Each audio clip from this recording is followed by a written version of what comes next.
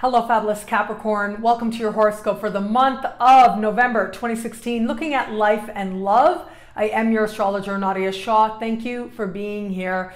Well, it is an exciting month, and particularly for you, the highlight is going to be, well, many actually, a few actually, but it really kicks into high gear for you mid month. It is in the middle of the month that we are going to have a full moon for you and fellow earth sign Taurus speaking in supreme harmony with Pluto in your sign. You add to this Venus moving into your sign and meeting that Pluto this month as well.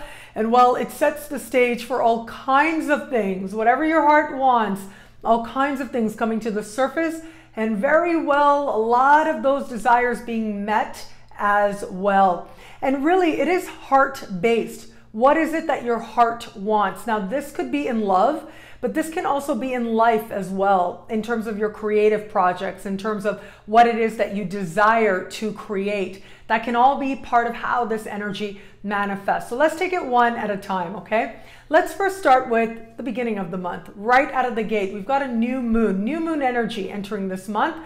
And this new moon is happening in a part of the sky for you that has to do with friendship and the friends you have, the groups you belong to. This is a new moon, which suggests new people coming in, fresh start kind of energy. And there's a, a, sense of spirituality. There might even be like a kind of a positive karmicness to the energy that is coming in. And there's a real sense with this of possibility as well. It may very well be that a friend presents to you a new opportunity, a new possibility, or that you meet someone new who ultimately, in the fullness of time, is part of facilitating greater opportunity into your life.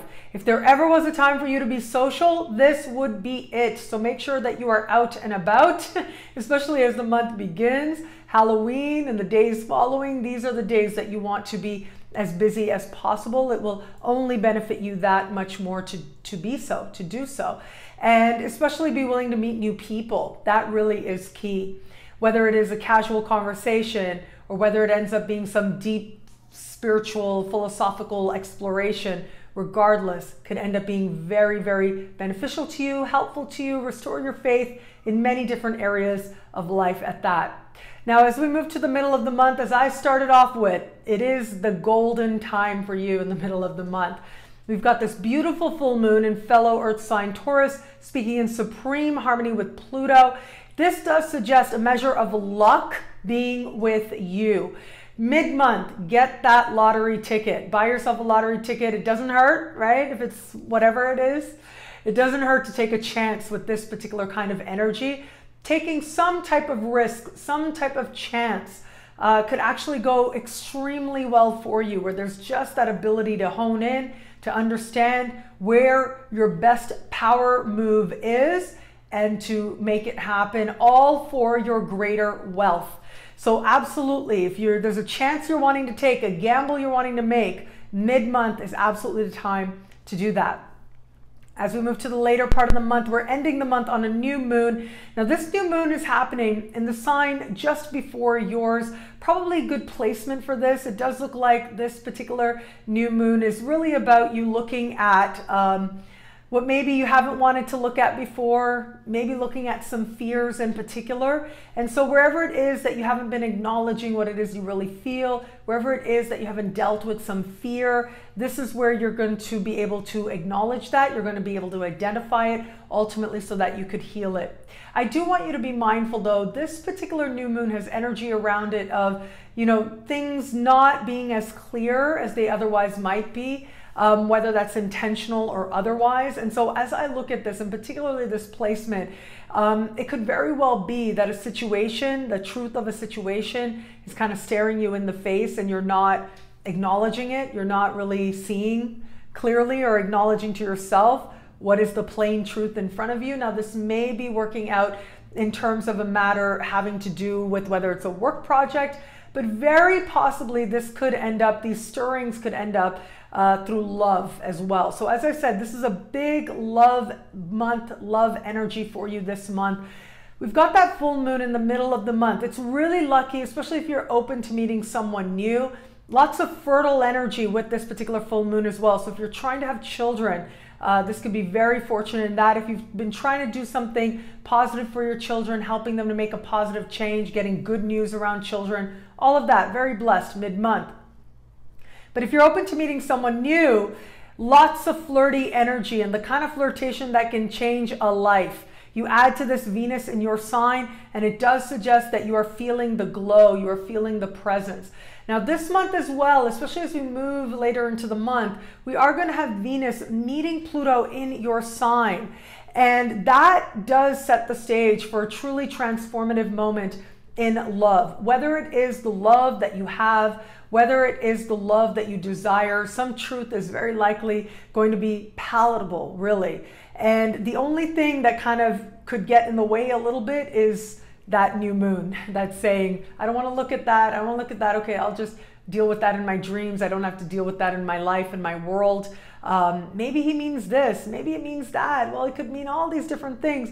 Well, your intuition kind of knows. Okay, so if someone's showing you who they are, this is going to be a time at the end of the month where you really want to be believing them because there's going to be a lot of emotion. There's going to be a lot of getting carried away, possibly uh, from the middle as we move forward into the month. And uh, it's very possible that getting carried away in a moment and then what is afterwards, two distinctly different things. So just be mindful of that. Okay, it could happen.